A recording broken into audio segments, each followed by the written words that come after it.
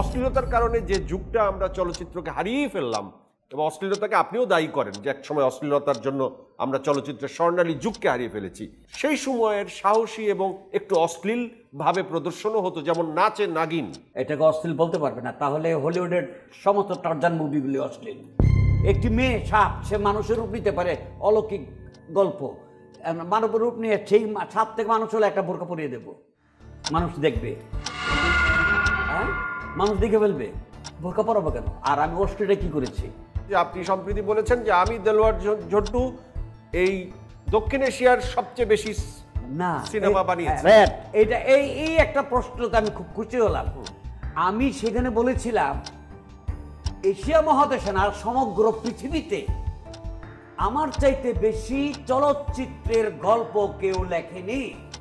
গল্প লিখেনি কেটে ফেলে দিয়ে চলচ্চিত্র নির্মাণটা চলে আসছে। তাহলে আমার চাইতে বেশি চলচ্চিত্র নির্মাণ কেউ করেনি। আমি কি আমি কি ফেডার দিয়ে দুধ খাই? আমি বলব যে আমার থেকে বেশি চলচ্চিত্র কেউ নির্মাণ করে নাই। তিনশো তেইশটা গল্প পৃথিবীর কোনো রাইটারের নাই, একশোটা গল্প নাই। চলচ্চিত্র হয়েছে নাই। দেলোর ডানজুন্টর আছে, বাংলাদেশের, এটা গর্ব। খুব সুন্দরভাবে ব্যাখ্যা করলেন এবং আশা করি এই বিষয়টি নিশ্চয়ই পরিষ্কার হয়েছে কারণ এই বিষয়টি নিয়ে একটি বিতর্কের জন্ম হয়েছে। আরেকটি বিতর্ক আপনার শেষ ছবি তুমি আছো তুমি নেই যেখানে নায়িকা দিঘিকে আপনি বলেছেন দুই টাকার মেয়ে। দুই টাকা মেয়ে বলার সঙ্গে সঙ্গে সেখানে রিপিট করেছিলাম দু টাকার শিল্পীও সে হয় নাই সেটাকে তোমরা অফ করে দিলে? তার মানে এখানে এডিটিং জন্য মানে- দাও। তার মানে এডিটিং এবং কাটিং এই হ্যাঁ, দুটি আপনাকে বিতর্কে ফেলেছে দু টাকার মেয়ে তাকে? আমার আমার কোনো ক্ষমতা আছে না আমার রাইট আছে নাকি?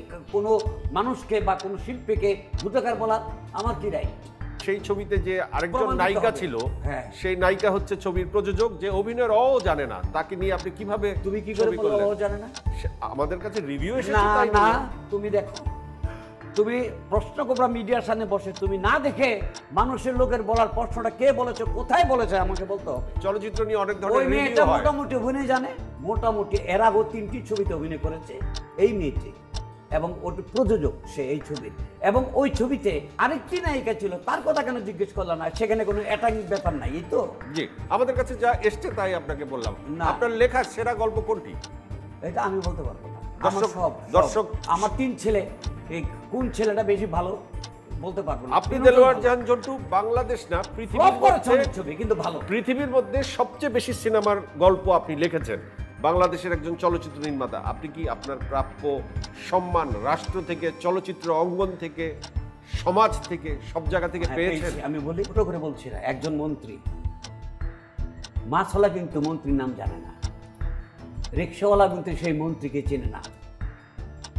একজন কাপড়ের দোকানদার কিন্তু সেই মন্ত্রীকে সবাই চেনে না। একজন বড় অফিসারও চেনে। কিন্তু সেই বড় অফিসার দেলোয়ার জাহান নাম জানে। সেই রিক্সাওয়ালা দেলোয়ার জাহান নাম জানে। সেই মাছওয়ালা দেলোয়ার জাহান নাম জানে। এটা আমার এতগুলি গল্পের প্রাপ্তি, এটা আমার আমার জীবনের সবচেয়ে বড় পাওনা পেয়েছি এবং এটা আমার অহংকার। আমি এতগুলি গল্প লিখেছি, লক্ষ লক্ষ টাকা খরচ করে আমার লেখা গল্পটিকে প্রযোজকরা চলচ্চিত্র নির্মাণ করেছে বললে বড় কথা হয়ে যাবে। আমার বাসায় আমি শুনতাম যে বোম্বের দিলীপ কুমার অমিতাভের বাসার পিছনে নাকি শিডিউলের জন্য লাইন ধরতো। আমাদের দেশে কোন নায়ক নায়িকার পিছনে শিডিউল লাইন ধরে দেলোর ডান ঝন্টুর পিছনে গল্পের জন্য লাইন ধরেছে। সারা জীবনে চলচ্চিত্র করে অর্থনৈতিক অর্জন কি? অর্থনৈতিক অর্জন কি? মানুষকে বিলিয়ে দিচ্ছি খাইছি ফিরে একটা গরিব এসে বলছে আমার মেয়ে বিয়ে দিতে পারছি না টাকা দিয়ে দিয়েছি। একটা ছেলে এসে বলল আমার মেয়েকে চিকিৎসা করতে পারতেছে সে মারা যাবে। এক লাখ টাকা লাগুক দু লক্ষ লক্ষ টাকা লাগুক দিয়ে দিয়েছি। তার মানে আপনার গাড়ি বাড়ি কিছুই নাই? আমার বাড়ি আছে ছতলা। তাহলে তো আপনি সলভেন্ট উপর যুগের যে টাকাটা সেটা আপনি সেটা আপনি বিলিয়ে দিয়েছেন। হ্যাঁ। আপনার শেষ ছবিটা আপনি কেমন বানাতে চান? এটা শেষ ছবি হিসাব করিনি। আগামী মাসে তিনটে ছবির শুটিং আরম্ভ করবে আমার। আপনি এখনও তরুণ? তরুণ না আমি স্ট্রং আপনার বয়স কত স্যার? আমার বয়স সেভেন্টি ফাইভ রানিং পঁচিশ থেকে তিরিশ বছরের ইয়াং একটা লোকের মতো চলাফেরা করি এই শক্তিটা আপনার কোত্থেকে এলো? এর পেছনে সাধনাটা কি স্যার? কোন সাধনা নাই। আল্লাহ আমাকে এতটুকু ক্ষমতা দিয়েছে চলাফেরা করার জন্য গল্প লেখার জন্য। সব কিছু আল্লাহ আমাকে দিয়েছেন। স্যার চিত্রনায়িকা নতুনের সাথে কি আপনার প্রেম ছিল? তোমার সাথে নাকি প্রেম আছে? ওই যে গতকাল একটা মেয়ে ইন্টারভিউ দিল ওর সঙ্গে। তুমি আমি দেখলাম যে তুমি খালি ওর প্রেম ঘটিতের ব্যাপারে কথা বলছো ফটফট